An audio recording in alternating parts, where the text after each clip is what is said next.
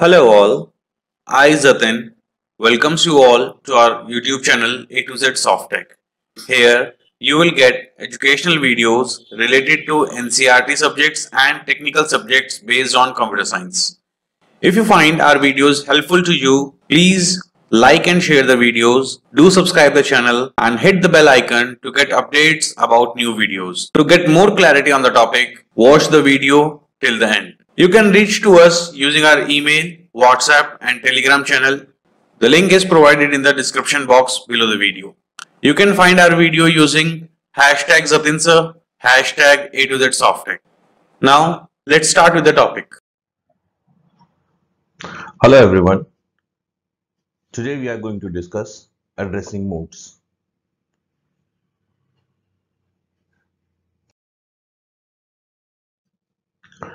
So the content of today's video is first of all we will study about addressing modes and then types of addressing modes. There are different types of addressing modes. We will study and discuss one by one. As you all are aware that microprocessor executes the instruction and it executes one instruction at a time. Each of the instruction contains operations and operands. What is the meaning of operation and what is the difference of operand? Operation is the task which is going to be performed like add, subtract, move, increment, load and store. Whereas operand is the data on which the operation is to be performed. Operands can be placed either in the processor register or in the memory. Means we can store the operands in the processor register or in the memory. There are different ways to get the operand. Now how can we know that the content like if this is a register R and there is some value X then how can we know that is the X is the operand or X is the address of the operand. Now, to know this, we have the technique that is known as addressing modes. Okay, the way in which the operand is taken from the register or memory is known as addressing modes.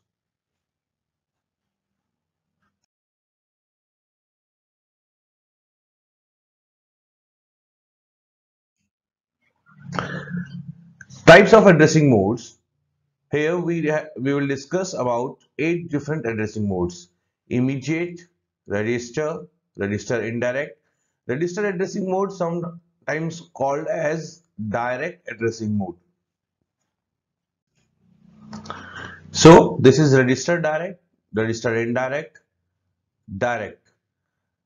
This direct and indirect belongs to memory. These belongs to register and these belongs to memory. Then relative, indexed and base. These are known as calculative. Calculative addressing modes. Why calculative addressing mode? Because these three addressing mode can be obtained after performing some calculation. These five are the basic or the base addressing modes. Okay. And these three are the calculative or the displacement addressing modes. Calculative or we can say that displacement. Why displacement? Because here we need some calculation to get the effective address of the operand. Okay.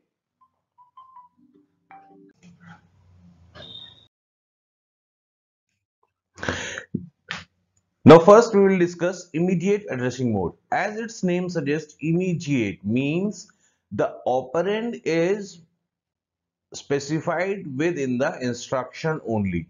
The operand is specified within the instruction only. Also, operand itself is provided in the instruction rather than its address. Means in the instruction we have the operand itself. We have the operand itself like here the example is MVI A comma 15H. Here H belongs to hexadecimal. This H belongs to hexadecimal means this is a hexadecimal number. A is a processor register. 15 is the operand. 15 is the operand and MVI stands for move immediate. MVI stands for move immediate. So this instruction means that 15H will be moved to A. Okay. Here 15H is the immediate operand. 15H is the operand which is moved in the register A. In other ADI3EH. ADI belongs to add immediate. ADI stands for add immediate. And here the data is 3EH. When there is only one operand specified, then the by default operand will be accumulator itself. So in this case accumulator content of accumulator will be added with 3EH and the result will again stored in the accumulator itself. So this is immediate addressing mode. Next is register addressing mode or register direct addressing mode register addressing mode or register direct addressing mode. In this case, the operand is specified within one of the processor register. Means the operand is not in the instruction. It is in the processor register. Okay. Instruction specifies the register in which the operand is stored. Instruction specifies the register and the operand is in the register itself. Let's take an example. Move CA. So operand is in A and destination is C. So content of A will be moved to C. A is the operand specified in the register. So this is the register addressing mode or register direct addressing mode in which the content of this register is directly transferred to the destination register. Another example is add B. Here we have only one operand. So another operand is by default taking as accumulator which is a by default register. So content of B will be added with the A and the result will again stored in the accumulator register itself.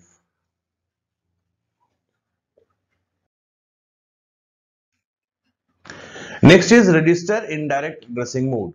Register indirect addressing mode. Previous one was direct. Now in this case it is indirect. The difference between direct and indirect addressing mode is that in this case the processor register The instruction specifies the register in which the memory address of the operand is placed. In the direct case, instruction specifies the register in which the operand is placed. Now, in case of indirect, instruction specifies the register in which the memory address of the operand is placed. Means, it means in this case, M. M is the memory location on which the operand is placed. M is the memory location on which the operand is placed. So we can get the address and then the operand. First of all, we will get the address and after that we will get the operand. That's why it is known as indirect addressing mode. It do not specify the operand itself. Look, it do not specify the operand itself, but its location within the memory where operand is placed. So as it is clear that we will get the location only. First we will get the location and then from that location we will get the operand. That's why it is known as indirect addressing mode. Register indirect addressing mode.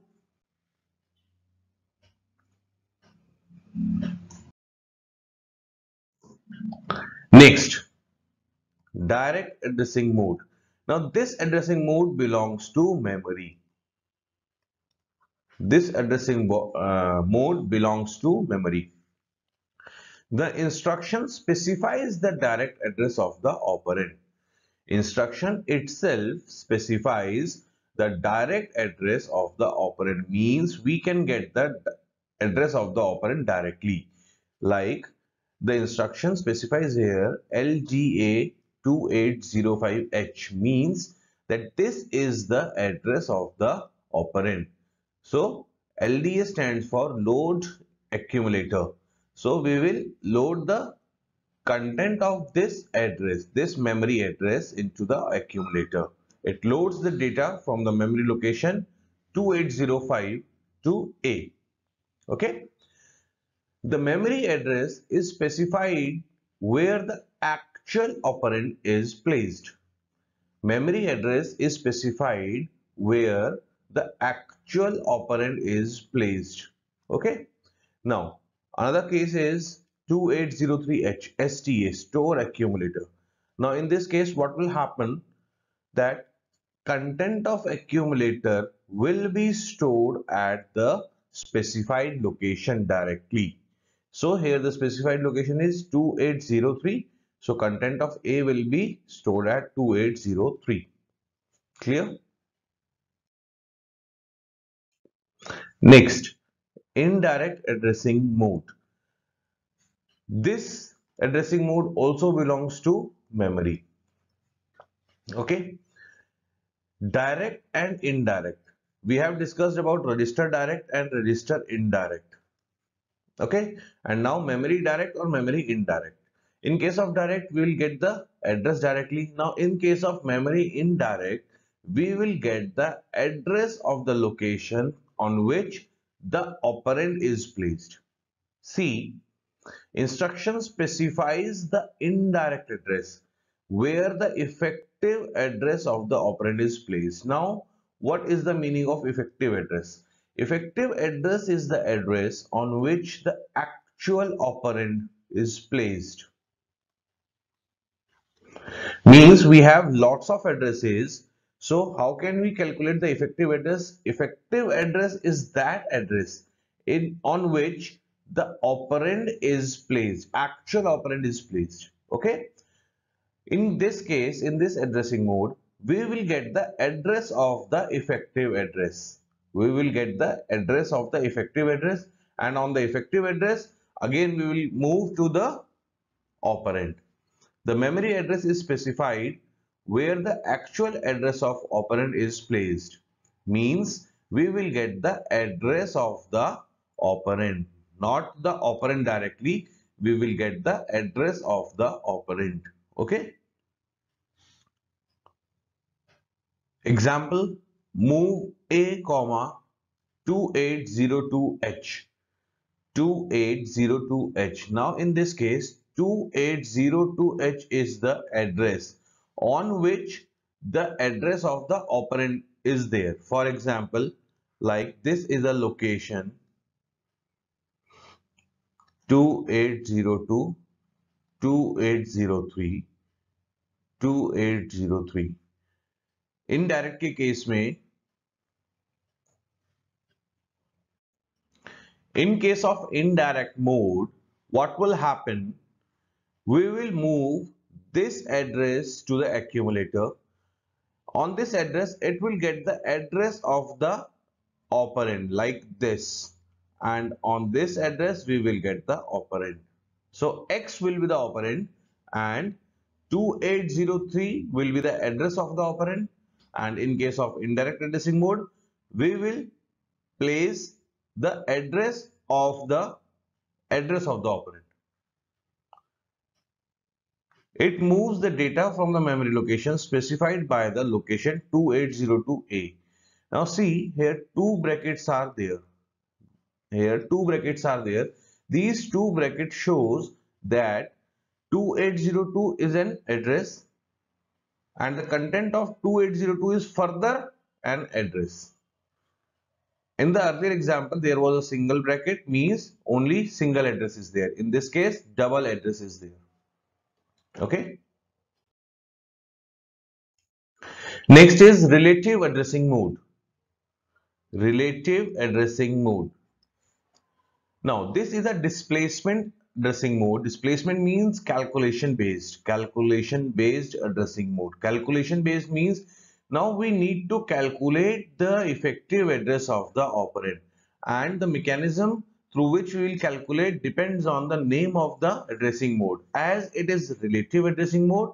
So in this case the contents of program counter register program counter is a register so contents of pro program counter register is added to the address part of the instruction contents of program counter register is added to the address part of the instruction to obtain the effective address. So in this case, the address part of instruction is added with the program counter and it will gives the effective address of the operand. The address part of the instruction is called an offset. This address is known as offset which is provided in the instruction itself. When the offset is added to the program counter, the resultant number is the memory location where the operand will be placed.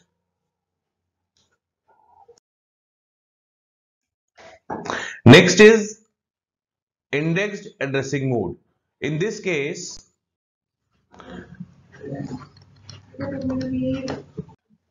effective address is calculated with the address part of the instruction and index register. Address part of the instruction is again known as offset. So in this case offset is added with the instruction register to obtain the effective address. See content of index register is added to the address part of the instruction to obtain effective address. The address part of instruction holds the beginning or the base address is called as a base. The index register holds the index value which is always positive. Now see, in case of index register, the value which is holded by the index register will be positive always. Base remains the same, only index will change. When the base is added to the index register, the resultant number is the memory location where the operand is placed. Means after getting this calculation, we will get the effective address and on this the operand is placed.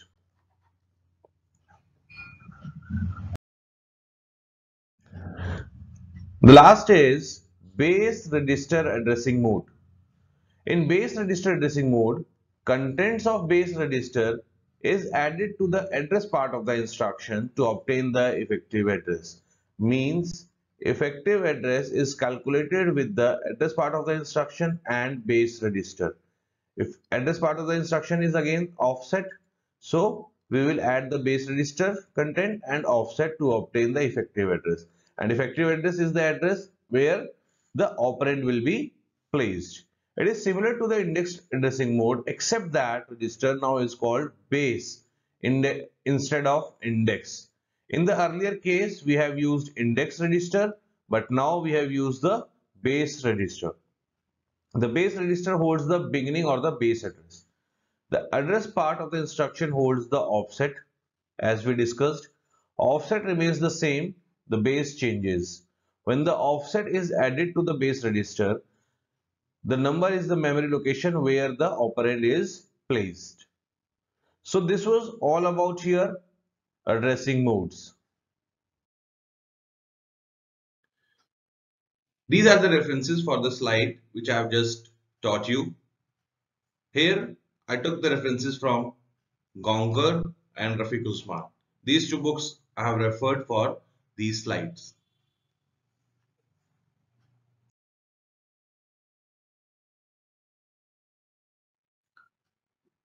Well, this is all for today. Thank you very much for your patience listening. Please feel free to ask for queries. You can find our contact information in the description box just below the video. Thank you once again. Have a nice day. Thank you.